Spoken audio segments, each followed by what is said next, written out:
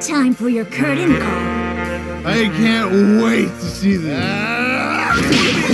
Oh,